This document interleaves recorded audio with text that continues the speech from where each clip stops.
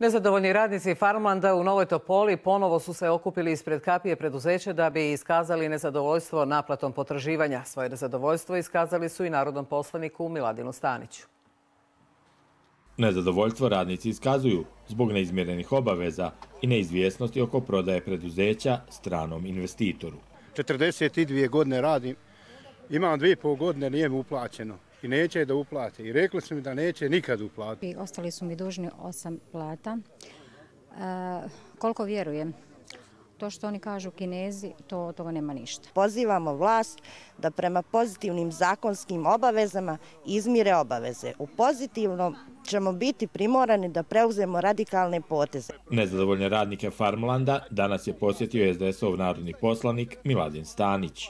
Ja sam došao na poziv ovih nesretnih radnika ovdje E, mogu da im poručim da ću istrajati, odnosno da će imati moju podršku u borbi da obezbedi naplatu svojih potraživanja. Inače, pred nama se nalazi što vi ne smijete objaviti, opustošeno i pokradano preduzeće.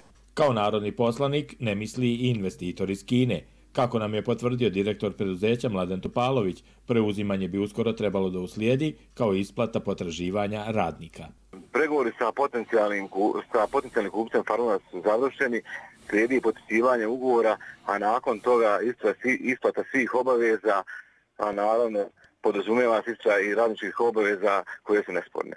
Sve političke konotacije koje se dešavaju ne bih komentarisao. Nezadovoljni radnici kažu da im se po raznom osnovu za potraživanje iz 2015. i 2016. godine duguje oko 300.000 maraka.